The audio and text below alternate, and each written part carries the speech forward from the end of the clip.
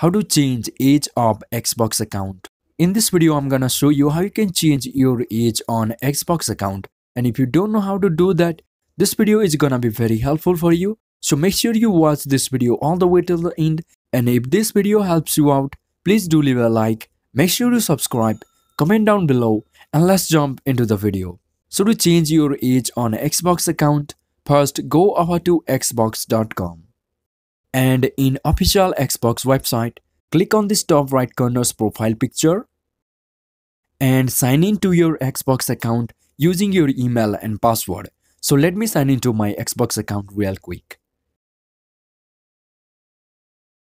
Once you signed into your Xbox account, click again on your profile picture and as Microsoft and Xbox account both are the same, here click on my Microsoft account and here in this page in your Microsoft account section, click on your info.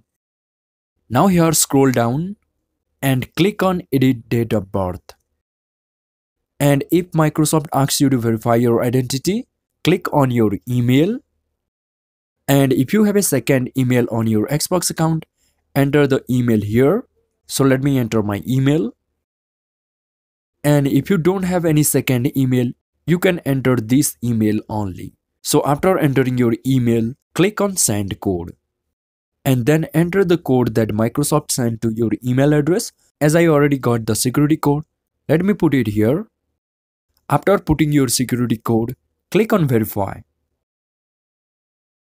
And here you can change your age of Xbox account. You can change your month of birth. You can change your date of birth. You can change your year of birth. So let me change my birth date real quick.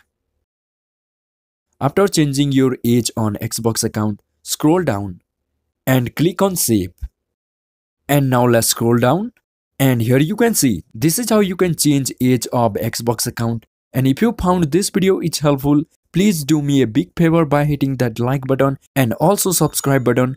And if you want to change email of Xbox account, watch this video and I will see you in the next one.